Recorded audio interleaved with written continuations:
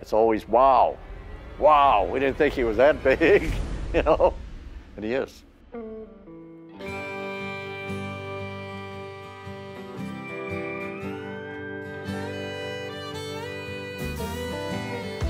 Tom, 13 years ago, was going to be a project here. We just uh, had a chance to buy him. I, I actually paid $10 for him, and uh, he's worth a lot more money than that now. It's overwhelming if you don't realize at first. If you're just used to a cow or something, that's one thing. But once you stand next to him and, and you know, you, you look at how tall he is and how, and just what a nice guy he is, people just love him. Tommy was always large for his age, but brown Swiss cows tend to be a little bit on the large side.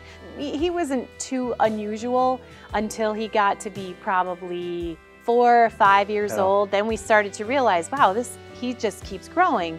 And the more age he got, the larger he got. He just really never really stopped growing. So he's up over, over 3,000 pounds. All four legs are holding up at least 750 pounds. That's, that's a lot of weight. I'm not the tallest guy in the world, but he's pretty tall. Tommy is a very calm and kind animal. He's very friendly toward children. He loves snacks, so he'll always come to you for an apple or for a carrot. He loves to have snacks. He's very docile. We've never had any problem with him being aggressive or anything like that. He's always very kind and calm. It's a pleasure. He's like our pet. He's just something to be proud of, and I really, really like the guy. He's everybody's friend up here. Everybody, everybody knows Tom. He takes my breath away every time I see him, and I see him all the time. he's magnificent. He's just a wonderful, like, amazing animal. Uh, what do you think, Tom? I think his belly's going to be full in about another 15 minutes, and then he's going to sleep for a week. He can eat five gallons of grain a day eats a bale, bale and a half of, of hay.